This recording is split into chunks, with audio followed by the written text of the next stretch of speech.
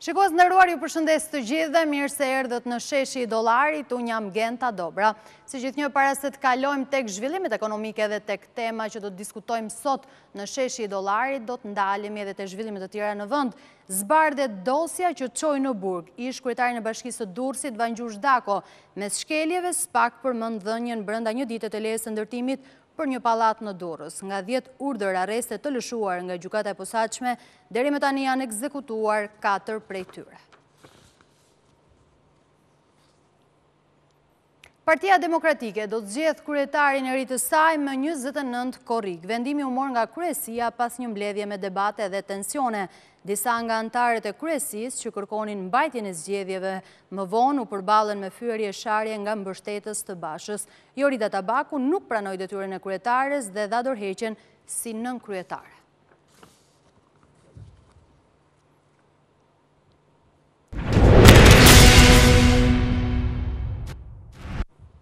Mirë do të shohim tani në mënyrë më të detajuar zhvillimet ekonomike, shkrihet bordi i karburanteve. Vendimin e dha ministrja e Financave Delina Ibrahimaj pas mbledhjes së qeverisë. duke argumentuar se ka pasur një stabilizim në tregjet ndërkombëtare. Kujtojmë se tregu i karburanteve ka qenë nën monitorim që prej marsit të vitit të kaluar pra me fillimin e luftës Rusi-Ukrainë. Ndërkohë niveli më i lartë i shënuar gjatë kësaj periudhe i naftës ka qenë 265 lekë për litër. Shkrihet Bordi i Transparencës së Karburanteve. Tashmë çmimi me të cilin do të tregtohen karburantet në pikat e pakicës, do të vendosen nga faktorë të tregut. Vendimin e ka bërë me dije ministrja e Financave Delina Ibrahimaj, sipas së cilës çmimet në tregjet ndërkombëtare tashmë janë stabilizuar dhe funksioni i bordit nuk është më i domosdoshëm në kushtet kur çmimet e hidrokarbureve në vend kanë arritur në nivelet e para krizës. Bazuar dhe gjithashtu në vendimin e Gjykatës Kushtetuese, e cila la në fuqi Bordin e Hidrokarbureve, ne vendosëm dhe bazuar në stabilizimin e çmimeve, ne sot morëm vendimin për shfuqizimin e Bordit të Hidrokarbureve dhe të situatës së veçantë në këtë treg. Bordi i Transparencës për Çmimet e Karburanteve u krijua në mars të vitit të kaluar kur nafta preku nivelin më të lartë në vend dhe arriti në dyqind e gjashtëdhjetë e tetë lekë për litër, e ndikuar së tepërmi nga nisja e luftës Rusi-Ukrainë, e cila tronditi tregjet globale, me qëllim ndaljen e abuzimeve në kurriz të qytetarëve, qeveria vendosi ngritjen e një strukture për administrimin e karburanteve duke ngrirë marzhet e fitimit të kompanive që operojnë në këtë treg. Qeveria shqiptare ka dalë sërish në tregjet ndërkombëtare, duke emetuar një eurobond të ri me vlerë gjashtëqind milionë euro. Eurobondi është marrë me një afat maturimi pesëvjeçar dhe një pjesë e tij do të shkojë për shlyerjen e borxhit të vjetër, ndërsa pjesa tjetër për të financuar deficitin buxhetor dhe për t'u injektuar në ekonomi për vijimësinë e projekteve të rëndësishme.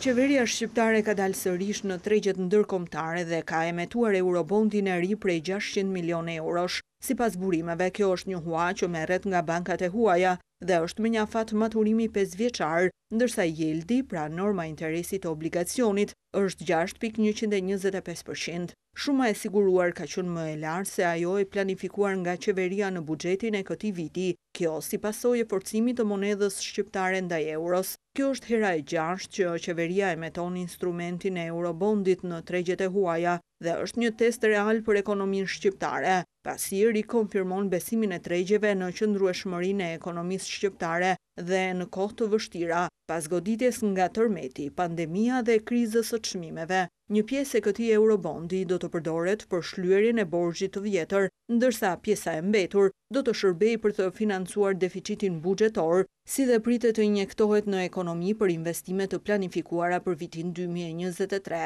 Emetimi i eurobondit mund të japë të tjera efekte në dobësimin e monedhës europiane kundrejt lekut në këtë moment. Eurobondi është një instrument financiar, i cili përdoret gjerësisht nga shtetet për të plotësuar nevojat me likuiditet apo për investime.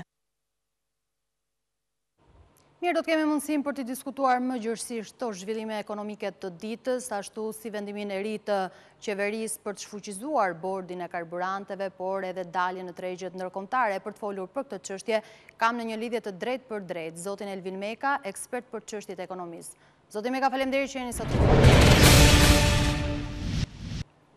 Mirë se ju gjej. Profesor, dua të ndalem fillimisht tek vendimi i fundit për të shfuqizuar bordin e karburanteve. Ka pasur një qetësi në fakt në tregjet ndërkombëtare. Si e shikoni këtë vendim të fundit të qeverisë?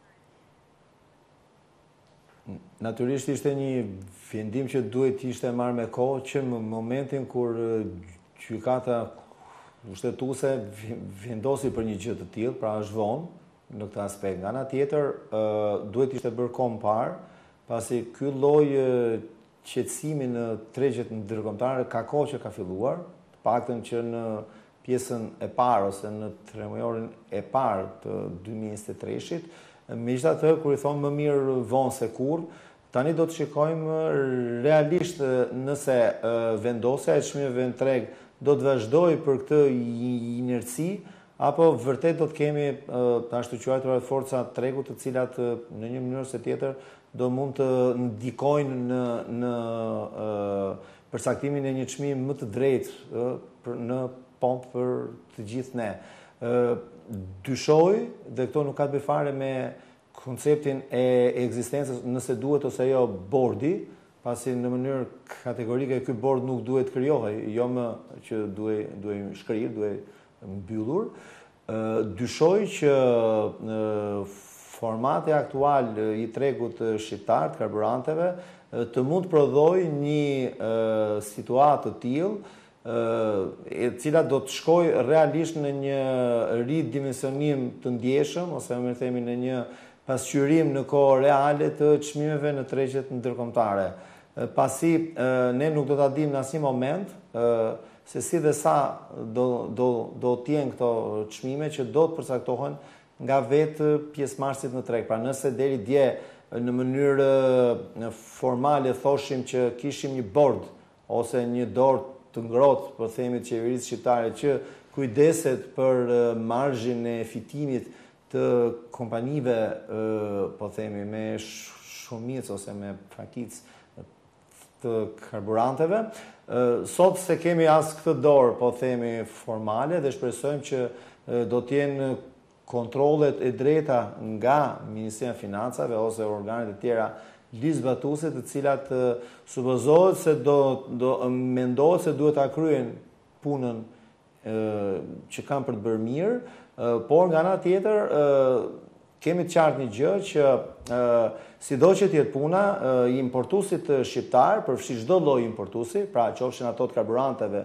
të ushqimeve etj, e kanë treguar nuk na kanë zhgënjyer asnjëherë në drejtim të abuzivizmit të treguar në treg. Po si mund të ndalet, profesor? Dhe këtë po e tregojnë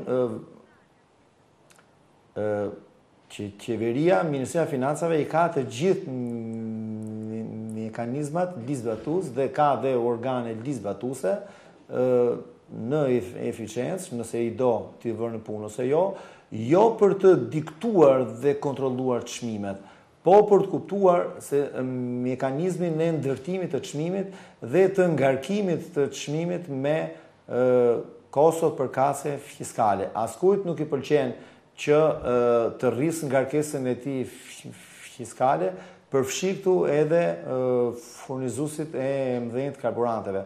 Ajo që është e rëndësishme është që qeveria duhet të mbrojë, e ka për detyrë të mbrojë interesin publik. Dhe thënë kjo, i ka të gjitha atributet ligjore dhe ligjzbatuese për ta bërë një gjë të tillë. Varet nga ajo se si dhe kur do ta bëjë këtë gjë.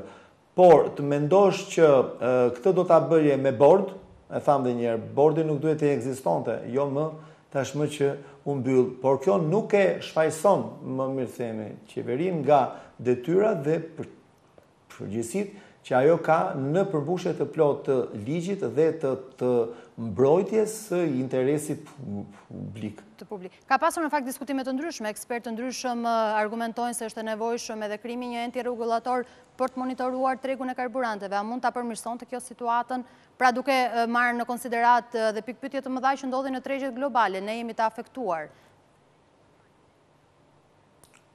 Patjetër, por nëse po marrim uljen e kostove ndërkombëtare të transportit dhe rënien relative të fuqisë blerëse të valutave të huaja, pra euro dhe dollar në raport me lekun shqiptar, teknikisht dhe të konjunkturës dhe çmimeve ndërkombëtare të karburanteve finale sot në botë, duket si e pakuptim që ne të vazhdojmë të paguajmë në pompë, pra finalisht në pompë, Pothuajse të njëjta çmime, madje dhe më lartë se sa çmimet e karburanteve që i përkisnin këtij niveli ndërkombëtar çmimi. Pra nuk ka argumente dhe arsye përveç problematikës madhore që ka çmimi final i karburanteve ku rreth 55-60% e tij ndërtohet me ngarkesa fiskale dhe kjo është një Debat tjetër, pra, që ka të bëjë ekskluzivisht me mënyrën si është ndërtu politika fiskale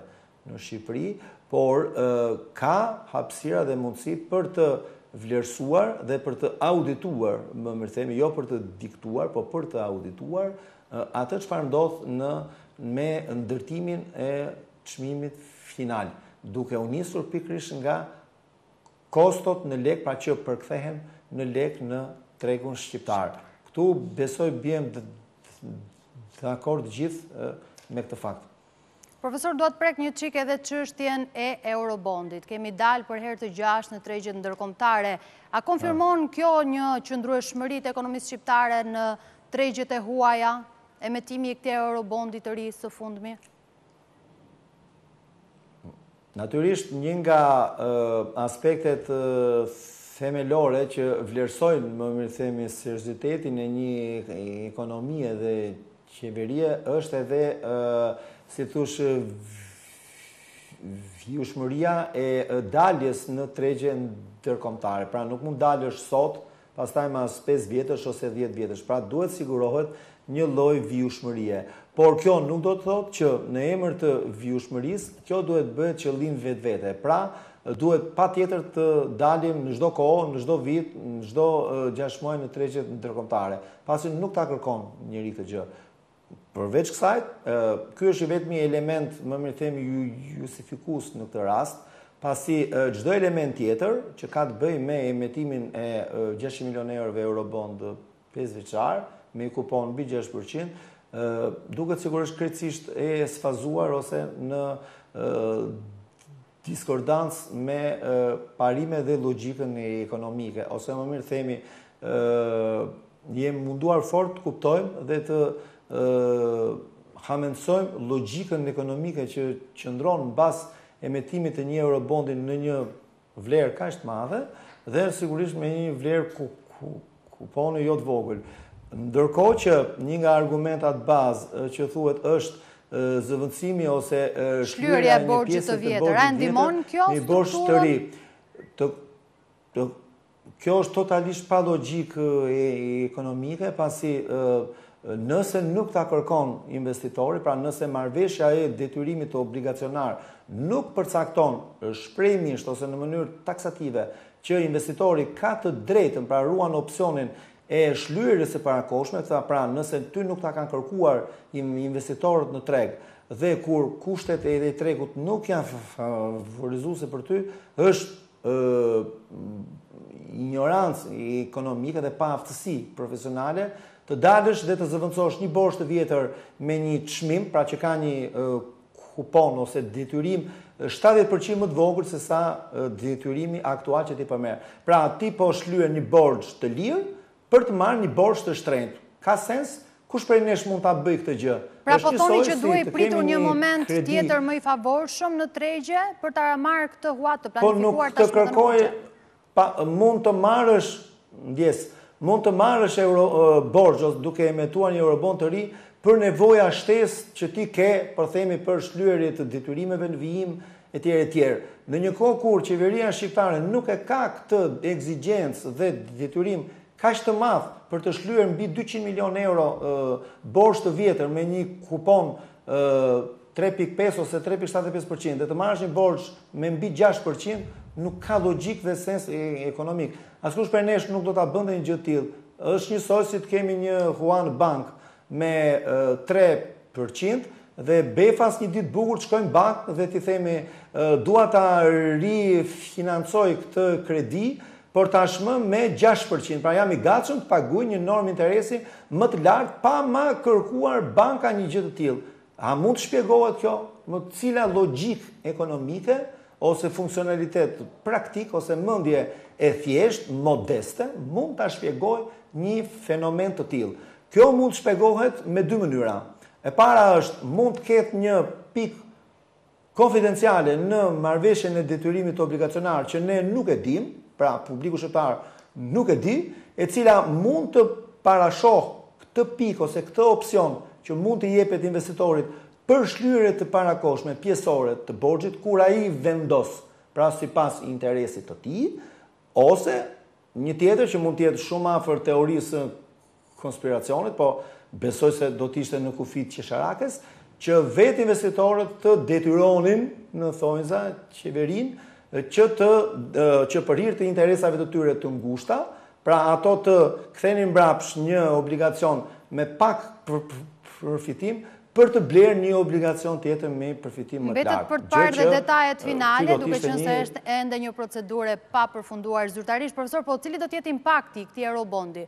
Pritet të hyjë një sasi e madhe në valutë, si do ta ndikojë kjo kursin e këmbimit? Patjetër që kjo sasi edhe sikur të ishte plotësisht e justifikuar dhe e legjitimuar një lëvizje e tillë, pra edhe sikur të ndodheshim në në si të thuash momente kritike që do na duheshin patjetër këto 600 milionë euro, vetëm sasia dhe madhësia e tregut shqiptar Në mënyrë të pashmangshme do ketë sot dhe për disa ditë tjetër një efekt psikologjik një herë në treg, e cila do të çojë akoma më tepër ujë në si të thuash ose do të jetë më shumë benzinë zjarrit të zhvlerësimit të euros, pra edhe pa bërë asgjë në treg, vetëm nga momenti psikologjik do të ushtrojë trysni ulëse për euro, pra zhvlerësuese, dhe nga ana tjetër kur realisht këto para të vijnë në Shqipëri dhe qeveria shqiptare do të kërkojë t'i hedhë në treg, llogarisni efektin që do të ketë në treg. Kur mirë e bukur qeveria shqiptare duke qenë në një mjedis të tillë me një problematikë të tillë të presioneve shumë të forta zhvlerësuese të euros, mos harrojmë se vetëm për tre muaj euro është zhvlerësuar me pesë për qind këtë vit. Ndërkohë që u desh një vit i plotë, prill më prill, pra prill 22, prill 23, që euro të zhvlerësohej me 5.4 për qind. Llogarisni çfarë efekti zhvlerësues kemi në treg dhe për më tepër qeveria mund ta përdorte një element të tillë duke tërhequr këtë 200 milion ose 300 ose 400 milion s'ka rëndësi Euro, jo ndoshta jo të gjithë emetimin, sepse nuk kishte pse ta tërhiqte. Dhe nga tregu i brendshëm. Por mund të shfrytëzohej situata në tregun e brendshëm, jo vetëm për të pasur një efekt pozitiv psikologjik të frenimit të paktën të rënies së përshpejtuar të vlerës së euros, por nga ana tjetër do të angazhoheshin këto para të lira në tregun shqiptar, të cilat dihet shumë mirë që objektivisht dhe subjektivisht ë sipërmarrja shqiptare, i individi shqiptar Eurot që kanë në dispozicion, o i mban në shpi, o i mban në bankë me me interesa o zero, o shumë afër zeros. Pra llogarisni që qeveria shqiptare jo vetëm do të kishte ndikim pozitiv në stabilizimin e tregut, por nga ana tjetër efekti më i rëndësishëm do ishte që do t'i ë ndihmonte sipërmarrjen ë dhe individin në shqiptar që kursimet e tij në euro jo vetëm të mos zhvlerësoheshin ose mos merrnin vlerë fare në banka siç është sot, por të merrnin një kthim të paktën tre deri në katër për qind, dhe në kthim qeveria nuk do merrte gjashtë pikë një për qind, nuk do të paguante një kupon gjashtë pikë një për qind, por do të paguante një kupon në nivelet tre dhe katër për qind. Pra ishte një zgjidhje fituese ose një opsion fitues për gjithë palët. Pra në finale vendimi për të marrë 600 milion euro Jemi në fund, zoti Meka, dhe një koment të fundit, sepse jemi në limitin e minutazhit. Në të kundërt të interesit publik dhe logjikës ekonomike. Argumenti për zëvendësimin e borxhit është i pakuptimtë, është i palogjikshëm dhe nuk ka asnjë sens dhe fondament ekonomik që e mbështet. Pra, zëvendësimi i një borxhi të lirë me një borxh të shtrenjtë, unë nuk di kush mund tjetër ta bëjë. Mbetet për t'u parë në fakt se si do të shpenzohet. Zoti Meka, faleminderit shumë që ishit sot këtu me mua.